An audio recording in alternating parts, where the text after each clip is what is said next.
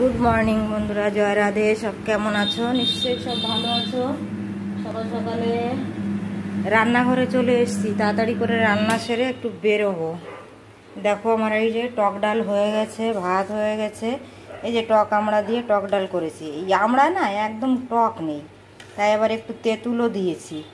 আর এই যে পেঁপে ভাজি, পেঁয়াজকলি দিয়ে পেঁপে ভাজি করব। আর এই যে ফুলকপি ভাজি, আর এই যে রয়েছে গেদাল পাতা বেটে রেখেছি।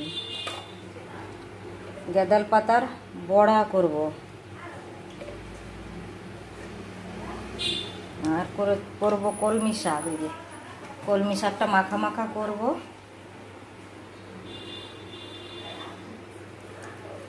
তারপরে একটু বেরোবো।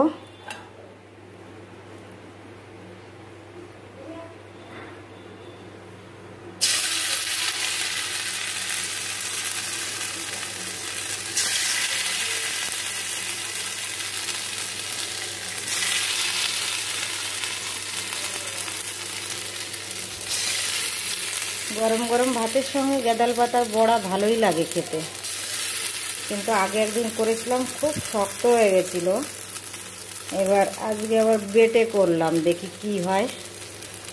এমনিতেই চালের গুঁড়ি দিলে পরে শক্ত হয়ে যায়, বেশি করব না অল্প একটু। এখনও কাজের বউ আসেনি। মা থাকবে ঘরে।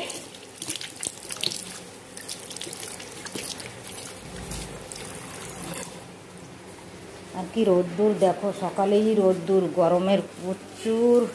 মানে গরমটা বোধহয় এবারে যাবে না ভেবেই নিয়েছে।